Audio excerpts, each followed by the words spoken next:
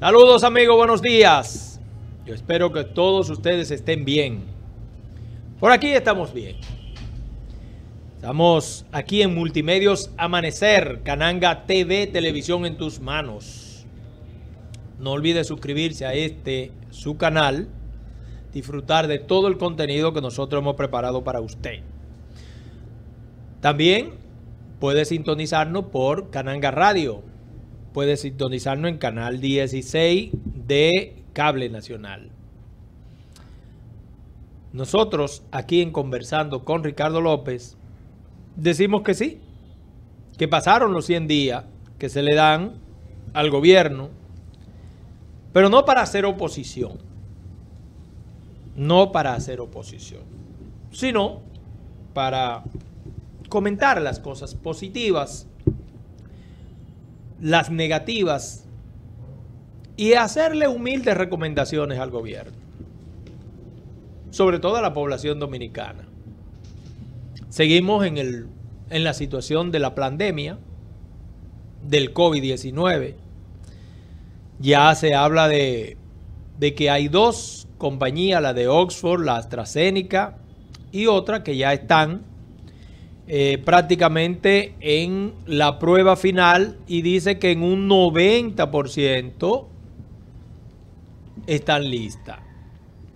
Por eso hablan de que hay una competencia dura de esas vacunas y se puede esperar la efectividad de la vacuna.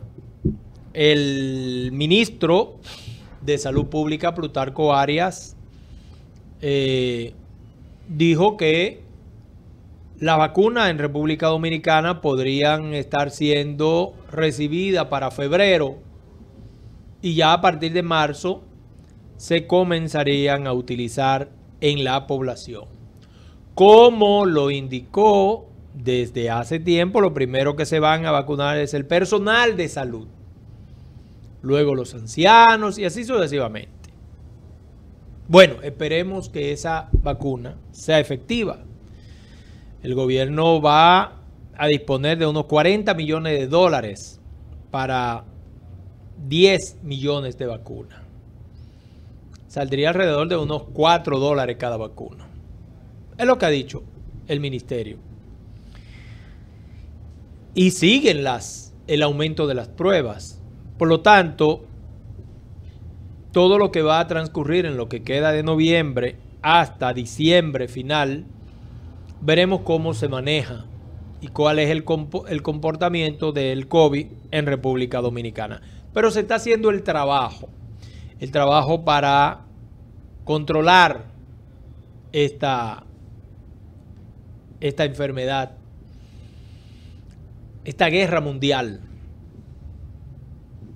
de la salud.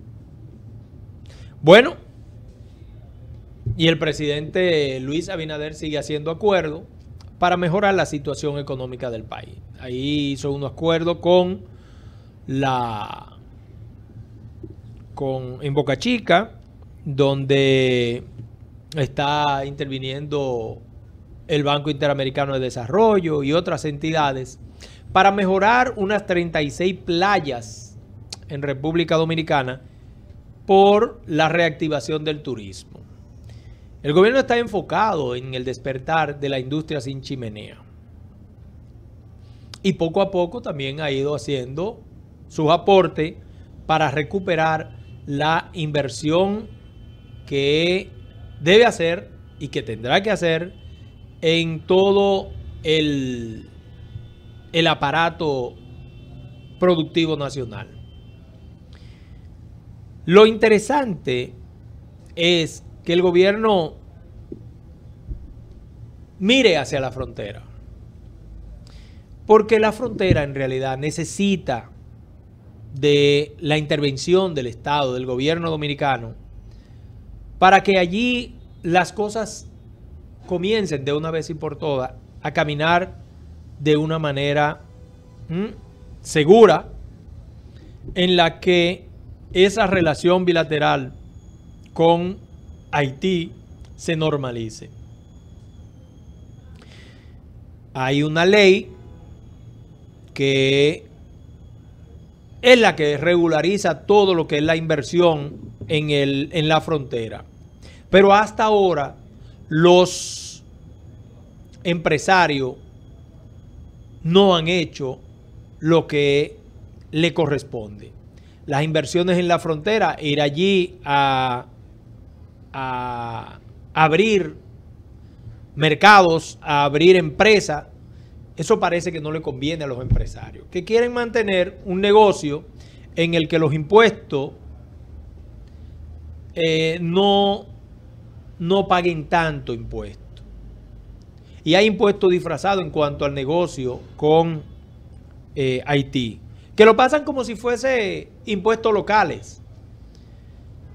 Y el gobierno también tiene que, eh, que revisar esa situación, porque son demasiadas las exenciones que se dejan y se le dan a todos estos empresarios. El país necesita de recursos. El gobierno necesita de recursos. Y no puede ser que dos o tres se estén aprovechando. Fíjense, eh, nosotros hablábamos de la condición en la cual un empresario trata de disminuir el pago de impuestos a través de obligar al consumidor a consumir lo que ellos quieren. Por ejemplo, las cervezas, que lo hemos dicho mucho acá. No hay cerveza del tipo normal.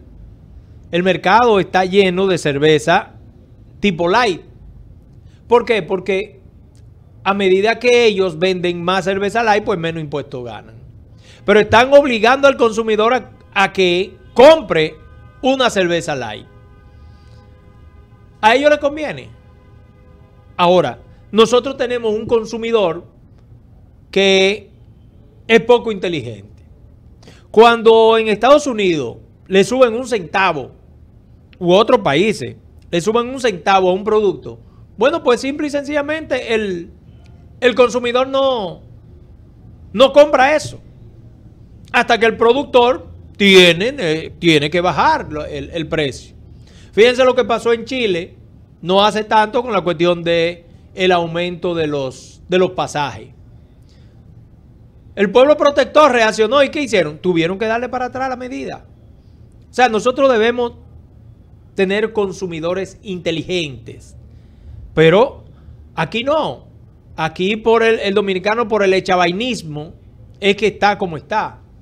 Porque si de, una, de buenas a primeras le suben en un artículo, ellos compran el artículo. Ah, no, yo puedo. Sí, pero el, el tuyo está afectando a millones de personas que quizás no pueden o no tienen la capacidad de compra que tienes tú. Te afecta a ti y afecta a otro. Entonces, esa ese afán de consumismo hay que modificarlo en este país. El dominicano tiene que consumir lo que le convenga y lo que necesite. Aquí hay personas que son eh, consumidores compulsivos, cosas que no necesitan, van y la compran. Llegan a una tienda, en un mall, y ven algo, ah, pero si tengo el dinero o tengo una tarjeta, lo puedo comprar, aunque no lo necesite para guardarlo. Y así van incrementando los gastos hasta que de buenas a primeras se encuentran que tienen una gran deuda. Una tarjeta por la cual lo están presionando y ya. Entonces, hay que hacer un plan educativo del gasto para que el dominicano aprenda a gastar y a gastar con calidad sobre la base de lo que necesita. Y eso es lo que le conviene a muchos empresarios. Por eso ustedes ven el afán de tantos anuncios en estos tiempos de que un, qué sé yo, amarillo, un viernes negro algo. Oiga, lo que debe hacer el, dominicano es consumir lo necesario en, medio de crisis. Pero debe tener una educación. Y debe tener un mensaje, claro. ¿Mm? Por eso hoy vemos aquí que dice que las BIPIMES esperan plan de recuperación.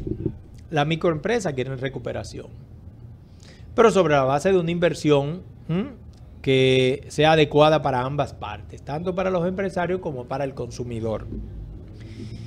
Señores, la magistrada Miriam Germán sigue hospitalizada. Dentro de su cuadro está algo mejor, pero sigue en cuidados intensivos. Y en el ámbito de la justicia, en el ámbito de la justicia, parece que la Procuraduría General de la República o los fiscales eh, querían algo de, comentario, querían algo de, publicidad cuando solicitaron que se introdujera el, el interrogatorio a el presidente de Odebrecht aquí a Marcos Vasconcelo o el representante de Odebrecht en el país. Pero ellos saben que eso, eso se lo iban a rechazar. Ellos lo saben, porque ellos conocen de materia legal. Sobre todo cuando ya se han cumplido todos los plazos y los procesos y ya se está en juicio de fondo, eh, introducir un nuevo elemento después de que se ha dicho que ya el archivo de los que se sacaron de los primeros 14, eh, se dijo que ya ese era un archivo definitivo. Ahora, tendrá que abrirse un nuevo juicio, un nuevo proceso para que aquellos que aparecen en los codinomes que no están claros la magistrada, procuradora fiscal o alguien que ella designe, vaya a Brasil a entrevistar a estos funcionarios de Odebrecht. Y entonces en un nuevo juicio podrían integrarse los que no están, que están. Los que se dejaron fuera, que están, tendrán que ser incluidos en un nuevo juicio. Que eso puede ser a partir de febrero. Y entonces, en un nuevo juicio, ahí tendrán que incluir a todos, como lo dijo la monja aquella. Pero hay que entender que el gobierno pasado y los funcionarios pasados hicieron todas las cosas correctas para ellos salirse de ese proceso. Tenían ahí a Jan, Alain. Porque Jan Alain hizo todo lo que se le recomendó. Recordemos una vez que dice, aquí están todos los que son y son todos los que están. Cuando eran 14. Bueno, pues después comenzaron a sacar. Sacaron a Temístocles, sacaron a muchos. Y no incorporaron otros. Ahora el plan de la Procuraduría es comenzar a investigar sobre la base de la declaración jurada de los salientes funcionarios y de los que entraron. Entonces, en base a lo que cada uno no pueda demostrar de esa fortuna, entonces se, abrirá, se va a abrir un proceso. Pero el caso de Brecht, el caso de Brecht, que en Perú se ha llevado unos cinco presidentes y en otros países también ha tenido su consecuencia, aquí parece que no va a tener muchas consecuencias. Aquí parece que no va a haber más que ex culpables que, como sucedió con el caso de otros funcionarios, la justicia le va a servir para lavar sus culpas. Sí, porque cuando haya un juicio de fondo en el que, en el que un, un involucrado en un caso penal o civil sea absuelto, sea declarado inocente, pues ya por ese caso no se le puede volver a, a enjuiciar. Por ese caso. Entonces lo que pasa es que la justicia aquí en República Dominicana, desde hace tiempo, ha venido a hacer un traje a la medida. Y ha venido a hacer una lavadora para lavar honras entre comillas, honras. Es una forma de lavar fortuna, es una forma de lavar todo. Y cada cual se va a quedar con lo que se robó tranquilo. Y podrá salir a la calle y decir que es inocente. Bueno, un juicio lo, dictaminó, que usted es inocente. Ya nadie puede decir que usted es culpable. Usted fue y fue descargado y ya usted es inocente. Esa es la situación de nuestro país. Por eso es que nosotros debemos, debemos hablar de el fortalecimiento de las instituciones. Y si en un país la institución principal, que la justicia, anda como anda, entonces ya ustedes pueden por ahí sacar conclusiones. Lo malo de esto es que se le lleva un mensaje negativo a la población dominicana. Que se le envía el mensaje que usted puede delinquir, pero debe saber delinquir. Que usted puede ser, cometer cualquier acto desleal, pero saberlo hacer. Y tener su padrino. Tener su padrino en la justicia para que salga bien. Porque muchas veces lo que, se, lo que constituye con esto es un circo político o un circo mediático. Ahí vemos que eh, Román Jaques, el nuevo presidente de la Junta Central Electoral, adscrito al sector Leonel Fernández, que aquí no se puede llamar a engaño, Román Jaques, le pide al Congreso reevaluar eh, el presupuesto que dejó el expresidente Castaño Guzmán. Fíjense que cada funcionario que llega a una institución le interesa más lo que es el presupuesto.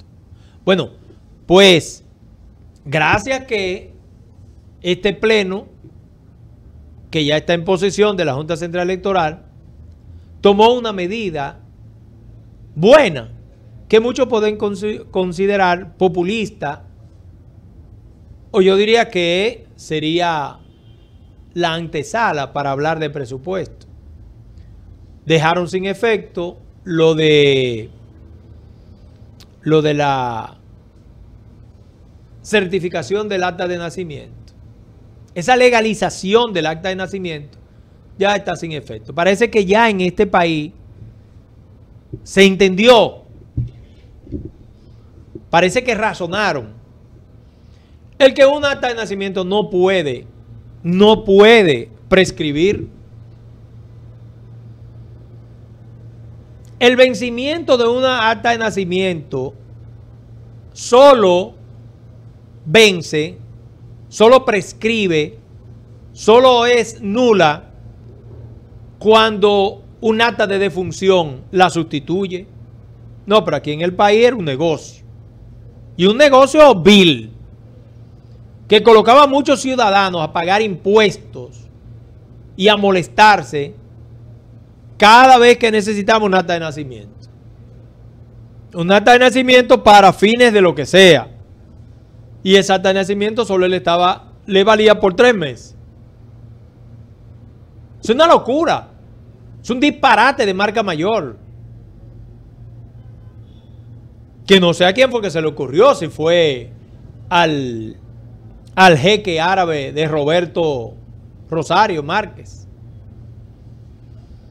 Yo no sé. Bueno, pues gracias a Dios que eso se dejó sin efecto. Pero, por ahí mismo, Román Jaque le pide al Congreso reevaluar el presupuesto. Un presupuesto en el cual, en el cual no es un año electoral. No vemos en qué la Junta Central Electoral va a invertir tantos recursos. El presupuesto que se llevó que dejó Castaño Guzmán fue por un monto de 7.400 millones de pesos. Y él dijo que es la cantidad que requiere el organismo en ese momento. puede ser que sí o puede ser que Cataño Guzmán haya decidido bajar un poco el presupuesto porque ya él no va a estar ahí. Ya él no lo va a manejar. Ahora, mientras estuvo ahí, estuvo pidiendo, pidiendo y pidiendo y pidiendo recursos. Recursos que se gastaron en, en prácticamente nada. Porque ninguno de los aparatos que se usó en las elecciones funcionaron. Sino el, el, el tollo electoral que se hizo. Desde la primaria y desde las de febrero.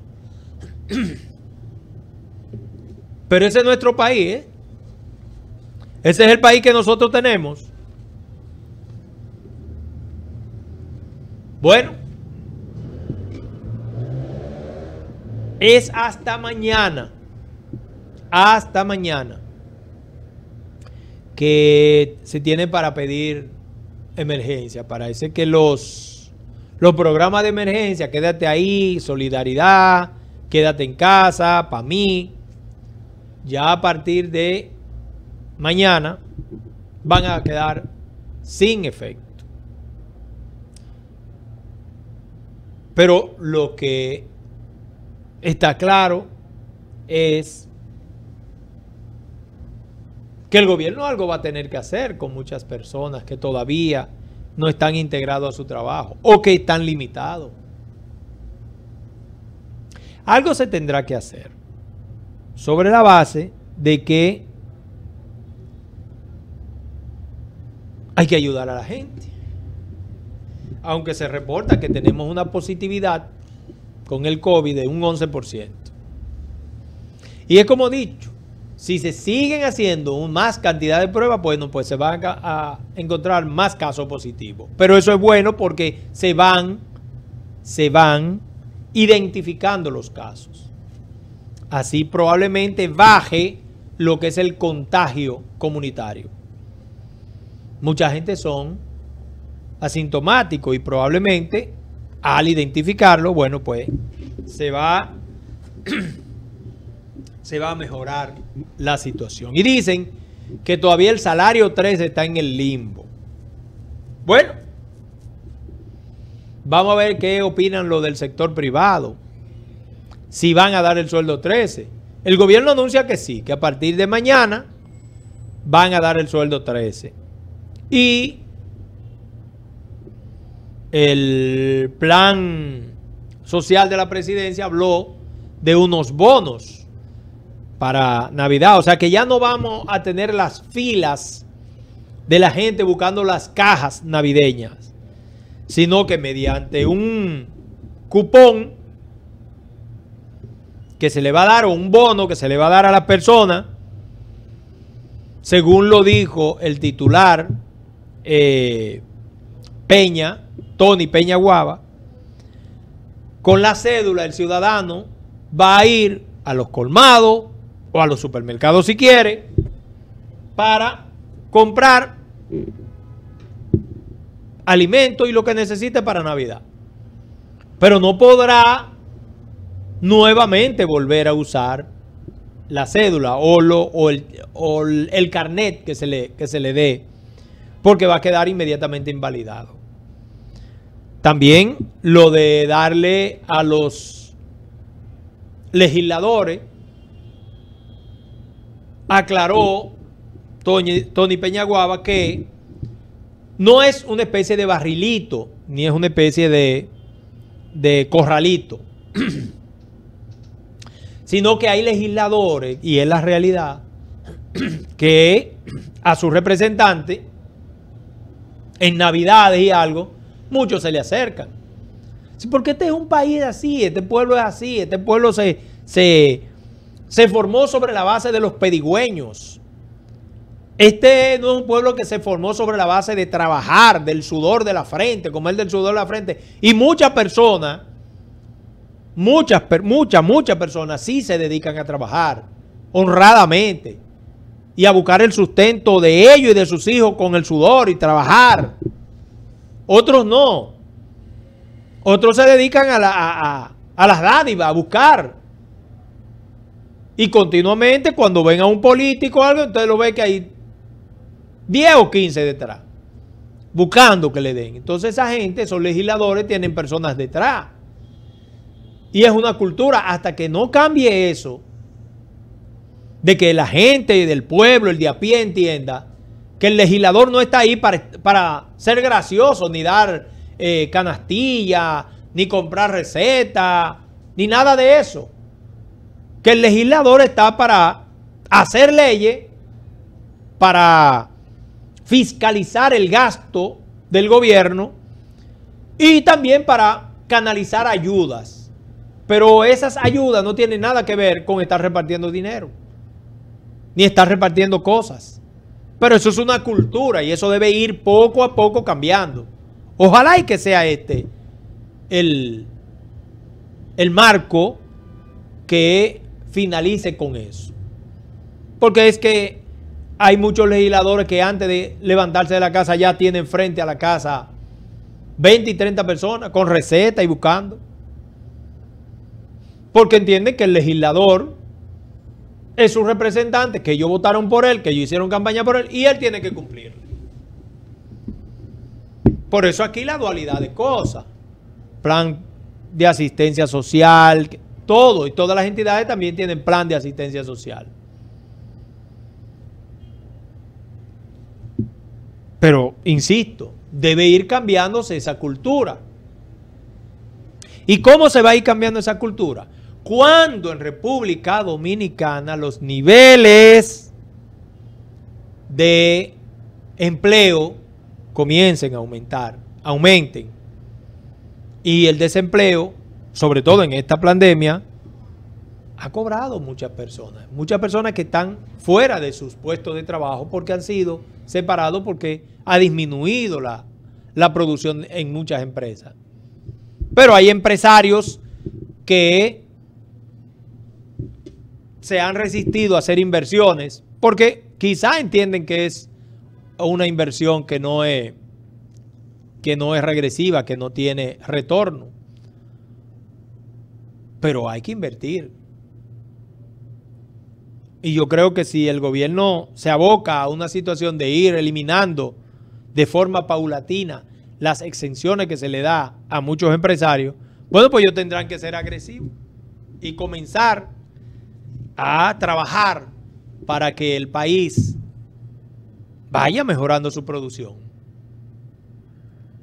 Por suerte no estamos en un tiempo político, aunque hay muchos políticos que ya están y están en la gatera y salieron a hacer campaña, aspirando a la presidencia de la República como el caso de Abel Martínez.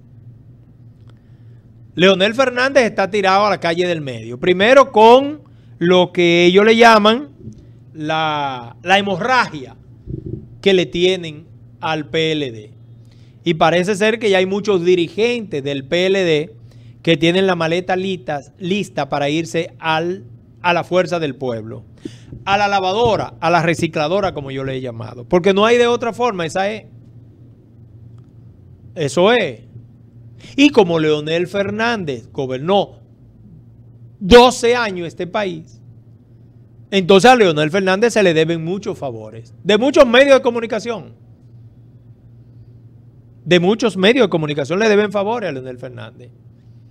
Entonces por eso usted ve que no, le ponen página completa y siempre hay noticias de el FUPU. Por eso ya ustedes ven que hay cadenas radiales que han ido cambiando su programación para insertar dentro de ello a sectores de, de Leonel Fernández. Comentaristas, bocina, dirigentes de la Fuerza del Pueblo que van a programas de radio para darle salsa, para ensalzar a Leonel Fernández. Su líder compró esa situación. Fue importante ese programa del PM. Pegar para no pegar para no, para no pegar. Y entonces, en un país que está ávido de que le den, que le resuelvan a muchas personas, cuando aparece alguien que usa los recursos del Estado para agenciarse poder y nombre, bueno, pues eso le vale. muchos políticos llegan a lugares para que con el presupuesto, que no es de ellos, que es el presupuesto del pueblo, lo utilizan para darse bombos y platillos y hacerse figura. Pero eso es muy fácil, no son los recursos de ellos que invierten, son los recursos del pueblo. Son los recursos del pueblo. Y entonces mediante comprar adeptos, voluntades, bueno, pues ya son líderes. Ya son líderes. Y le pagan algunos asesores para que piensen también por ello y actúen por ello. Ese es el liderazgo que nosotros tenemos en muchos de los casos. ¿Mm? Porque Leonel Fernández antes del 96, ¿qué era? Bueno, pero llega a ser importante cuando empresarios lo, lo toman para que él haga un trabajo. Lo hizo muy bien. Lo hizo muy bien. A diferencia de Luis Rodolfo Abinader Corona, un hombre millonario, lo demostró en su declaración jurada, que no necesitó del Estado, no necesitó del, del presupuesto de la nación para desarrollar un liderazgo. Y llegó a la presidencia sin esos, sin esos amarres. Entendemos que no necesita lo, el recurso del Estado para crecer, como lo está la Gallup ahora acaba de hacer una encuesta en el que le dan un 70% de aprobación a Luis Abinader. Nosotros no estamos en eso de que de aprobación o no, nosotros lo que queremos es que haga un gobierno excelente, que haga un gobierno excelente para todos los sectores. Porque haciendo un buen gobierno, bueno, pues todos nos beneficiamos. Todos. Y esta pequeña isla necesita el que todos nos pongamos de acuerdo para hacer las cosas bien. No ponernos de acuerdo para fuñir al otro. Que parece ser lo que han hecho muchos que se han quedado en el tren gubernamental del PLD. Que están haciendo cosas para que quede mal la ejecutoria de un ministro o de un director. Y eso debe observarlo el incumbente. Porque el presidente lo dijo. Vamos a estar observando a cada funcionario que deje pasar las cosas y no haga lo que tiene que hacer. Porque aquí todo el mundo tiene que hacer un plan para nosotros salir y contrarrestar este problema que nosotros tenemos de este COVID y todos enfilar los cañones hacia una buena ejecutoria de gobierno. Pero cuando las cosas se salen del lugar hay que decirlo. No importa que sea el presidente de la República, hay que decir las cosas no están funcionando de esta manera. ¿para qué? Para que cambie el rumbo. Porque lo dijo el presidente, yo no, yo no siempre voy a tener la razón, puedo equivocarme, soy humano. Pero hay que hacerle entender que él es humano.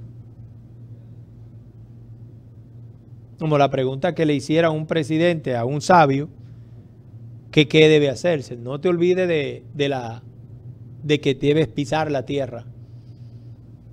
Si se te fueron los humos a la cabeza, entonces vas a fracasar. Lo único que va a estar escuchando a los lambones que están siempre al lado. Lo está haciendo bien. Usted es un fenómeno. Usted es un grande. Usted es lo máximo. Como usted no hay dos. Que parece ser que es lo que le gusta a Leonel Fernández. Tener atláteres al látere, bocinas al lado para que le digan que usted es el mejor, que usted es el predestinado, que como usted no hay dos. Por eso dice eso. Y un error que está cometiendo la dirigencia del PLD es que en el marco del Congreso que tiene no están reconociendo sus errores. los errores por los cuales salieron del poder. Y entonces deben reconocerlo. No, entonces abren un padrón para inscripción de militantes. Por un lado se le están yendo a reciclarse a la fuerza del pueblo y por otro lado ellos están hablando de un padrón para inscripción. Presidente del PLD, Danilo Medina. ¿Qué tiene que ofrecer Danilo Medina ya? Danilo Medina no tiene posibilidad de volver al poder. Ahora, poder dentro de la organización debe tener porque es uno de los, o el propio, el propietario del PLD. Pero ese partido debe buscar a personas jóvenes, capacitados, que no estén dañados ni señalados por la opinión pública. Y personas que hayan sido contestatarios. No importa que hayan criticado a su propio gobierno pero son los que quieren que funcione la cosa de la, mejor manera posible. Así que el PLD debe revisarse. Si quiere retomar el camino. Porque nomás se habla en el PLD de, del ejemplo de, del presidente Advitan, Juan Bosch, cuando están en campaña, pero hacen todo lo contrario. Lo mismo que Leonel Fernández. Nomás recuerdan a Juan Bosch cuando, cuando están en campaña. Pero no lo imitan. ¿O ustedes creen que Leonel Fernández imita a Juan Bosch? En cuanto a frugalidad, en cuanto... No.